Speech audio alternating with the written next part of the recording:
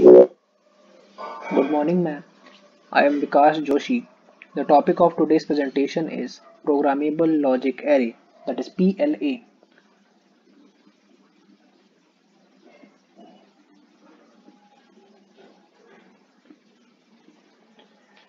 A PLA is a type of programmable logic device. Now the question arises, why do we need programmable logic devices? A fixed logic device performs a given logic function which is known at the time of device manufacturing. Thus, a very limited numbers of logic functions can be implemented using fixed logic devices, whereas PLD can be configured by user to perform a large variety of logic functions. There are many types of PLD, but we will focus only on PLAs. All PLDs have AND and OR array space and required logic is obtained by programming these arrays. There are three basic PLDs. The first one is PROM that is programmable read only memory. It has fixed AND plane and programmable OR plane the second one is PLA that is programmable logic array.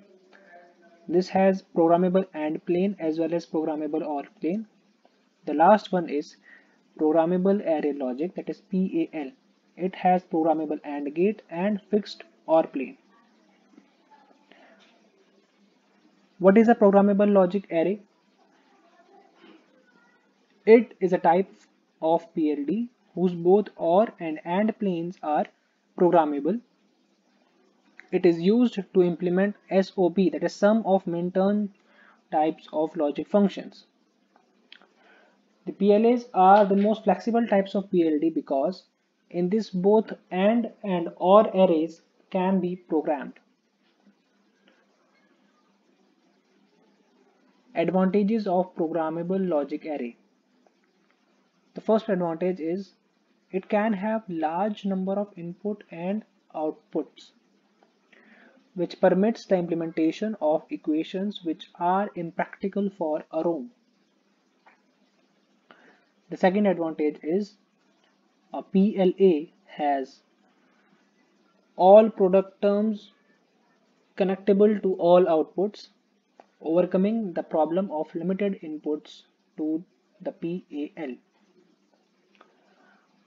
The last advantage is Although PLAs are used to implement SOP functions, but even POS can be implemented if outputs are complemented. Now, how do we obtain complemented outputs? You can either use XOR or you can also use NOT. Now, let's see an example of how do we implement P, uh, how do we implement logic functions using PLA. So in this example, uh, we have a PLA with three input, four product terms and two outputs. The, the two outputs are F1 and F2. Output F1 is AB complement plus AC plus A complement B C complement. F2 equals to AC plus BC whole complement. Okay. Each of the three input goes through a buffer input converter. And now let's try to understand more about this buffer input converter. A buffer input converter is a type of device which takes one variable as input and produces two output. One of the output represents the true value of the input and the second output represents the complemented form of the input variable. For example, if we give A as input, then we will receive two outputs first one of them is will be a complement and the second one of them will be a which will be the true value of a. Okay? Now each of these input is connected to its own buffer input converter.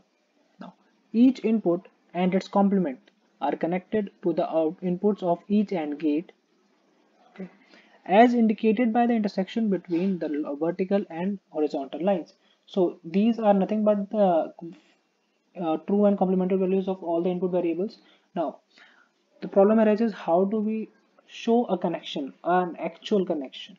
So to show an actual connection for example in the second AND array second AND gate sorry we have to take two inputs and one of those inputs is C. So what do we need to do is we have to take the line which represents the vertical line which represents C and the horizontal line which, which represents second AND and we have to make an intersection we have to make a cross there this cross represents connection between these two lines. Okay we have the outputs of the AND gates are connected to the inputs of each OR gate. The output of each AND gate uh, represents a product term. Okay and all of these uh, output of AND gates are represent uh, are connected to the inputs of OR gate. Now one of the one question arises is that how do we find the number of buffer input converters and the number of AND gate and OR gates required to construct the required PLA so it is very simple. Uh, we already know that the all the input converter all the inputs are connected to a buffer input converter therefore the number of buffer input converters required is always equal to the number of input variables. Okay the number of AND gates required is equal to the number of product terms sorry the number of distinct product terms present in the functions now here we will see that there are five product terms in total but out of those five, only four are distinct. AC is shared in both F1 and F2. Therefore, we need four AND gates. Am I clear? Therefore, we need four AND gates. And how many the number of OR gates required is always equal to the number of outputs. The output of the OR gate goes to an XOR gate where the other input can be programmed to receive a signal equal to either logic 1 or logic 2, logic 0 the output is inverted when the XOR input is connected to 1 since we know the property of XOR which is x XOR 1 is equal to x complement the output does not changes when the XOR input is connected to 0 since x XOR 0 equal to x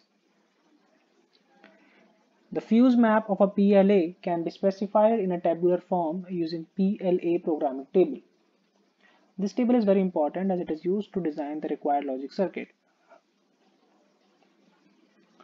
Now let's try to understand how do we draw the PLA of the uh, given example. So a PLA has three PLA programming table has three sections. The first section lists the product terms numerically. This product term is first product term, second, third, and fourth.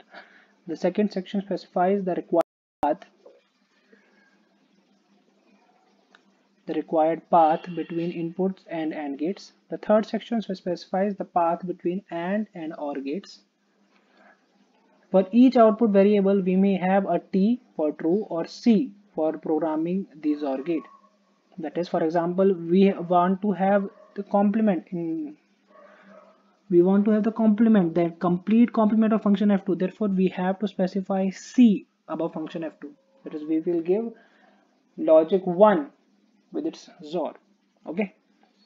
In input column, 0 specifies the complement of the variable and 1 specifies the true value and dash specifies that the blown fuse uh, that there is a fuse blown in both the variable and its complement.